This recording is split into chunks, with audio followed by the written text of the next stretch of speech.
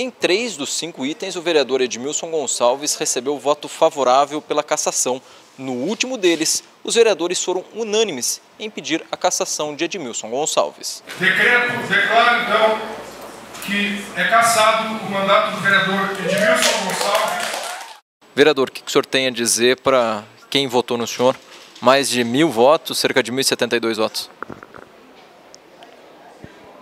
O meu respeito por eles continuam. É, lutei em respeito a eles até o fim. Sabia que era um jogo político, um teatro político, uma falta de respeito com o ser humano, com aqueles que a população confiou o voto e colocou aqui. Porém, aqui é uma casa de leis que deveriam prevalecer as leis, mas o que prevalece aqui é a vontade própria deles político. É inocente?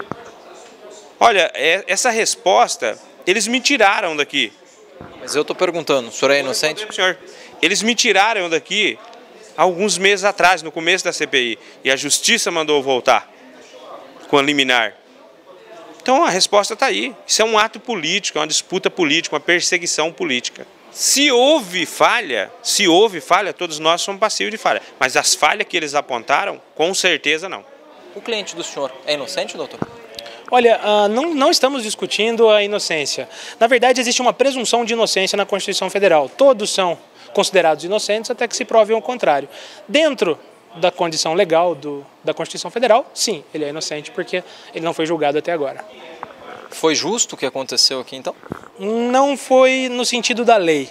Nós, como juristas, como advogados, nós temos que primar pela legalidade dos atos, tá? Toda essa constitu... toda essa comissão processante, ela foi já começou de forma irregular, teve várias ilegalidades e nulidades no decorrer da comissão, inclusive hoje teve algumas nulidades, como por exemplo, o, alguns vereadores antecipando o seu voto, que não podem, porque é, levaria outros vereadores a votar da mesma forma, né? E teve dois vereadores também que não poderiam ter votado que seria o senhor Ronei e o senhor Zé D'Amico, que também não poderia ter votado e também votou. Então, na verdade, isso só hoje, fora as outras nulidades. O senhor acharia justo o que aconteceu? O senhor no lugar dele? Olha, já sofri um processo de cassação aqui em 2005. Eu tinha apenas 24 anos de idade. Fui submetido a um processo de cassação que, ao meu ver, naquela época foi injusto. Tanto é que, na época, os vereadores me deram uma punição de 30 dias então eu, eu sei exatamente o que passou o vereador Edmilson. Vereador Ronei, não seria muito mais fácil apenas um item? Não seria muito mais justo pelo menos para o vereador Edmilson, se tudo resolvesse em apenas um item, ele não teria mais chance de não ser cassado? Olha, o processo seria simplificado. É, eu tenho que respeitar a opinião da comissão processante e do relator que fez o relatório.